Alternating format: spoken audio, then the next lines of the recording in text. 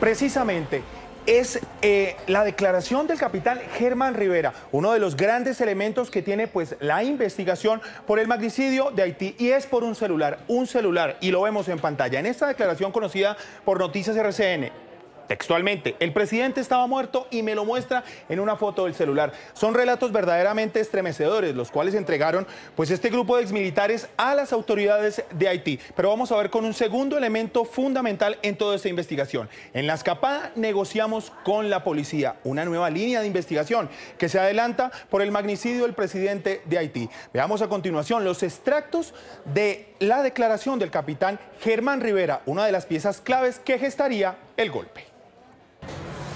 El rompecabezas de Haití tiene muchas, pero muchas piezas. Lo único claro es que el presidente Jovenel Moïse está muerto.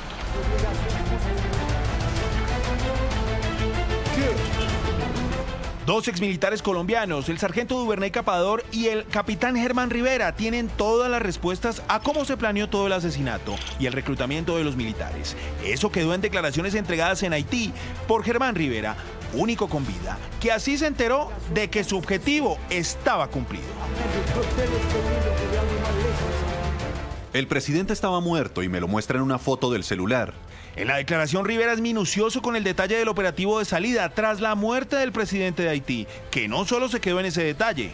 Pasados 40 minutos, Duvernay Capador ordenó que todo el personal saliera de la casa. Aparece Romero, dice que el presidente estaba muerto y lo muestra en la foto del celular. Luego de la confirmación del objetivo, inicia la escapada. Iniciamos un recorrido a pie a manera de patrullaje y nos encontramos con un bloque de policía, en donde empezamos un proceso de negociación que dura desde las 3 horas hasta la mitad de la tarde. Sin embargo, la calma para el grupo que escapaba nunca llegó. Así lo narró Rivera. Se presentan dos enfrentamientos, uno a las 14 horas y el otro a las 16 horas, en donde Capador nos dice, se nos vinieron con todo, por favor apóyenos. Horas después sucede lo inevitable. En medio de ese entramado de corrupción y preguntas, son capturados los 18 ex militares colombianos y aún permanecen en ese país, a la espera de varias cosas, de un juez del caso, de una posible extradición y de un futuro, en medio de muchas, muchas dudas que quedan en el ambiente y que cada declaración intenta despejar.